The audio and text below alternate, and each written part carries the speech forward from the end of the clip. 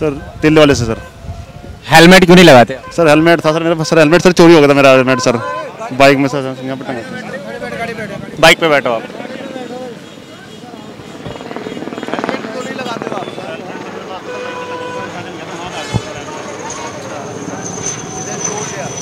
गाड़ी तो बहुत अच्छी है आपकी एक अच्छा हेलमेट भी खरीदो ठीक है आपको ये हेलमेट दे रहे हैं। ये सस्ता है हमारी ये हेलमेट दे रहे हैं आपको ठीक है? इसलिए दे रहे हैं कि आप पहने। और आपका नंबर नोट कर लिया अगर आप दोबारा हेलमेट बिना हेलमेट के पकड़े गए तो आपके खिलाफ जो वैधानिक कार्रवाई है वो की जाएगी ठीक है? आप देख सकते हैं सुनील सती जी द्वारा बिना हेलमेट लगाए जो लोग बाइक चला रहे हैं उनको हेलमेट भी पहनाया जा रहा है और समझाया जा रहा है और पूरे तरीके बताए जा रहे हैं कि कैसे हेलमेट लगाना है और आगे से बिना हेलमेट ना नज़र आए। और इस पूरे कार्यक्रम में द नेशनल हेल्पिंग हैंड जो कि एक समाज सेवी संस्था है वो ट्रैफ़िक पुलिस के साथ कंधे से कंधा मिलाकर काम करती है और आज ये helmet the national helping hand की ओर से ही बांटे जा रहे हैं। और लोगों को समझाया भी जा रहा है। तो अब क्या करोगे? हेलमेट लगाओगे या फिर ऐसे ही? नहीं सर लगाएँगे सर हेलमेट। अगर चोरी हो गया तो क्या करोगे? नहीं सर नया लेना पड़ेगा वरना सर चलान काट देंगे सर तो। गाड़ी भी सीज हो सकती है ध्यान रखना बहुत सारी चीज़ें हो सकती हैं कागज़ भी रहे हेलमेट भी रहे सब चीज़ें रहे। ठीक है सर ओके। और एक काम और करना है आपको तो हेलमेट मिल ही गया है। अब आपको जो भी ऐसा मिले घर परिवार में या दोस्तों में रिश्तेदारों में उन्हें भी समझाएँ कि भैया हेलमेट लगा लो नहीं तो चलान भी कटेगा और कार्रवाई भी ठीक है सर ध्यान रखेंगे कहाँ रहते हो आप?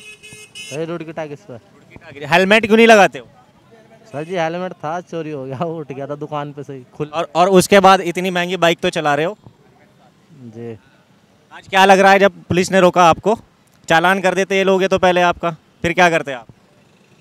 कुछ भी नहीं सर जी फिर क्या करते अब हेलमेट मिल गया ना आपको अब तो लगाया करोगे? जी लगवाया करेंगे तो क्या कहना चाहोगे यहाँ इस टीम को जो संस्था है इन्हें सीपीयू वालों को पुलिस वालों को अब क्या कहना चाहोगे? धन्यवाद कहना चाहेंगे जी इनके लिए। इसकी ना इसकी कीमत चुकानी पड़ती है वो इस तरह से कि आप खुद भी हेलमेट लगाएँ और दूसरों को भी प्रेरित करें। ठीक है सर जी ऐसा तो नहीं है घर में से बच्चों को ऐसी बाइक दे के भेज देते हो और वो चले जाते हैं नहीं। फोर व्हीलर का चलान करते हुए सुनील सती जी।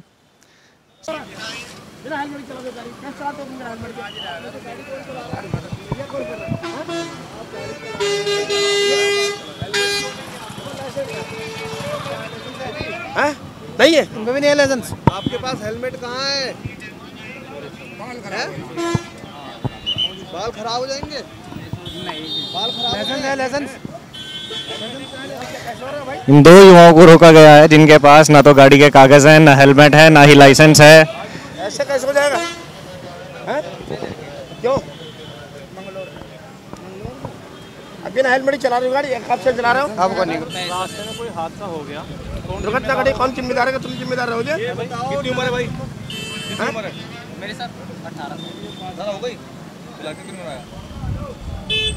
नहीं हुई तेरी भाई। दिखाइए जरा आधार कार्ड आधार कार्ड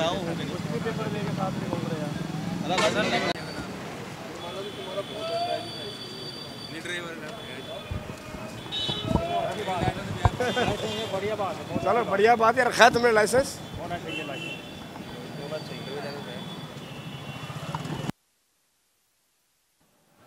ये ड्राइविंग लाइसेंस तुम्हारा नंबर चढ़ा दिया, ये ठीक है वक्त नगद बनवाना होता तो मैं नगद थोड़ा सा जी जी जी। इससे ज़्यादा आपको अपनी सेफ्टी जी जी। सही है?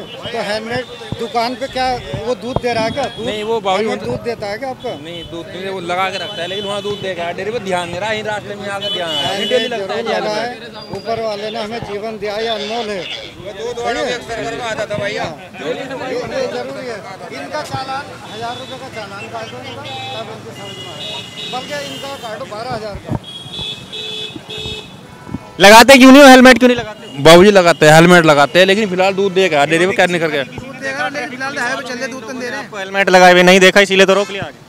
नहीं आपकी पहचान हुई है इनकी नज़रों में क्या आप हर बार निकलते हो ऐसे ही बचकर? कल भी और डेली लगा के आते हैं आज क्यों नहीं है हेलमेट आज डेयरी पे दूध देगा वहीं पे रहेगा चाहे आप अब क्या करोगे अगर ये लोग चालान काटेंगे आपका क्या करोगे? बाबू जी बताओ गलती हो गई कल से आगे नहीं अब अब क्या करोगे? आ, आ, छोड़ दो अब तो सारे शहर में घूम लोगे आप बिना हेलमेट के। वापस तो जाओगे नहीं उठाने या वापस जाके उठा के ला रहे हो अपना हेलमेट? चलो वापस उठा के लाता हूँ जी। बहुत वापस जा रहा हूँ। ये लेके आता हूँ हेलमेट बाबू जी पाँच मिनट लगती सिर्फ़ लाल कुर्ते में हेलमेट रह गया हमारा। इनका कहना है मैं वापस जा रहा हूँ हेलमेट उठाने के लिए। आप बाबू जी बिल्कुल आता है मतलब डे- डेयरी पे दूध दे के आया वहाँ से मतलब रास्ते में गोल चौराहे पे आके ध्यान है बाबू जी नहीं हमारा तो डेली का काम है थोड़ा हेलमेट बिना बिना हेलमेट बिल्कुल बहुत ज़रूरी है। बिल्कुल हेलमेट। हो गया तो ऐसे चालन हो जाएगा। ठीक है जी ठीक है हमारा भी सारे चालन हो जाता ठीक है जी ठीक है। लफड़े मत करो इस मामले में। यहाँ जो चालान किया जा रहा है इस बाइक का वो है साइलेंसर को लेकर। ये कहना है कि जो साइलेंसर लगवाया गया है, वो नॉर्म्स के अकॉर्डिंग नहीं है। यानी इन्होंने अपना लगवाया जिसकी वजह से ध्वनि प्रदूषण बहुत ज़्यादा होता है। ये इस बाइक का चलान किया जा रहा है एनफील्ड का। ट्रैफ़िक इंस्पेक्टर सुनील सती जी, इस बाइक का चालान करते हुए तो आगे हमारे दर्शक भी ध्यान दें, इस तरह का कोई भी काम ना करे कि उन्हें ऐसे परेशानी का सामना करना पड़े। ये जो आज आप प्रोग्राम चला रहे हो द नेशनल हेल्पिंग हैंड के साथ मिलके, क्या है? थोड़ा सा डिटेल बताएँ, हमारे देखने वालों को भी पता चले क्या चल रहा है रुड़की में आजकल। देखिए सर, हमारा ये एनजीओ है और ये ड्रग्स पे भी काम करते हैं और रोड सेफ्टी पे भी काम करते हैं। तो रोड सेफ्टी के अभियान के तहत इन्होंने आज हमसे संपर्क किया कि हम कुछ ऐसे लोगों को हेलमेट देना चाहते हैं जो उनको जागरूक करने के लिए, ताकि उनको इस समझ में आए बार बार बताने पर हेलमेट नहीं पहनते लोग, सुरक्षा का ख्याल नहीं रखते।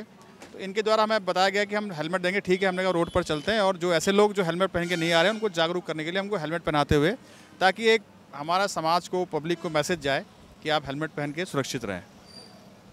अच्छा आप इस चीज़ के बारे में क्या कहना चाहेंगे? पुलिस चालान भी लगातार काटती है सीपीयू भी रोकती है लोगों को समझाती भी है फिर लोगों को समझ में क्यों नहीं आती बात? आखिर है क्या ये? देखिए मेरा इसमें मानना ये है कि एज ए पेरेंट जब आपका बच्चा बड़ा होता है उस समय आपको अपने बच्चे को वो संस्कार जैसे हम और संस्कार देते हैं कि बड़ों का सम्मान करो पढ़ाई करो दूसरों की इज़्ज़त करो दूसरों की सहायता करो ये भी एक संस्कार के तौर पर हमें लेना चाहिए रोड सेफ्टी को। जब तक रोड सेफ्टी को हम संस्कार की तरह लेंगे तो हमारा बच्चा जब बड़ा होगा तो उसको हमें बताने की ज़रूरत नहीं पड़ेगी कि आप हेलमेट पहनिए। वो अपने आप हेलमेट पहनेगा। ये मेरा मानना है। आपका ये मैसेज आज बहुत लोगों तक पहुँचेगा सर और मैं उम्मीद करता हूँ कि लोगों में जागरूकता भी आएगी इस चीज़ को लेकर। कोई दो वर्ड युवाओं को लेके जो लोगों सड़कों पे गाड़ी भगाते हैं उनको लेके कुछ संदेश। देखिए गाड़ी भगाने वालों को संदेश ये है कि speed thrills but kills speed को थ्रिलिंग होती है स्पीड चलाने में मज़ा आता है, लेकिन वो आपको किल करती है, ये पता नहीं कि क्षण भर में आपके साथ क्या होने वाला है, क्योंकि आपका कंट्रोल एकदम ख़त्म हो जाता है। जितने आप स्पीड को अपनी कंट्रोल में रखेंगे, इसीलिए हाईवे पे देखिए आप 80 की स्पीड हमने दे रखी है, सरकार ने, छोटी कार है, उसका कंट्रोल आप भगाने को उसमें हंड्रेड भगा सकते हो, लेकिन 80 पर आप चलोगे तो आप उस गाड़ी को कंट्रोल कर सकते हो, इसलिए उसमें गाड़ी की स्पीड 80 दी है।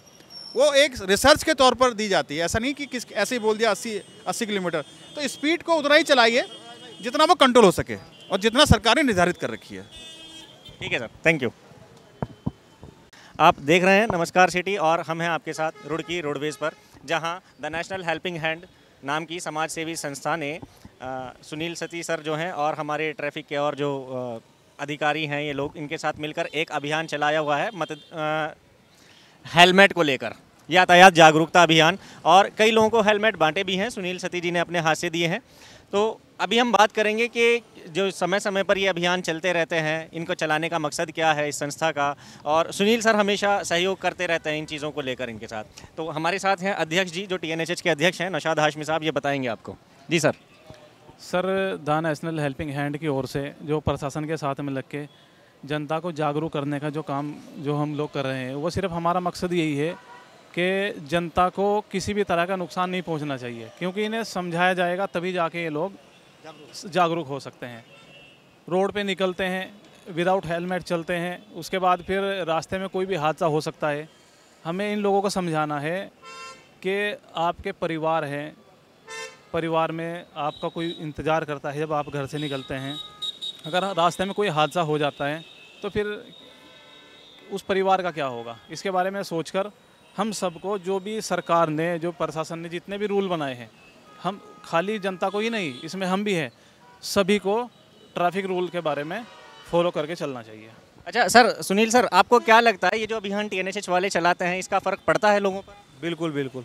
बहुत अच्छा फ़र्क पड़ रहा है रुड़की के लोग काफ़ी जागरूक भी हो रहे हैं। कि समय समय पर हर चौकों में जा जाके लोगों को जागरूक करते हैं हेलमेट के प्रति यातायात नियमों के प्रति। अब आप जैसे देख ही रहे हैं कुछ कुछ लास्ट सालों में हमारी जो इंफ्रास्ट्रक्चर है देश का काफ़ी अच्छी तरीके से बढ़ा है, लेकिन उसके साथ साथ हमारी दुर्घटनाएँ भी बहुत ज़्यादा हो रही है। तो उसको रोकने के लिए अब हमारी सड़कें भी अच्छी है, गाड़ियाँ भी अच्छी हैं, लोग पढ़े लिखे भी हैं, हमारे देश में नियम भी अच्छे हैं, लेकिन हमें लोगों को जागरूक करना बहुत ज़रूरी है, जो कि संस्था द्वारा काफ़ी अच्छा कार्य किया जा रहा है। धन्यवाद।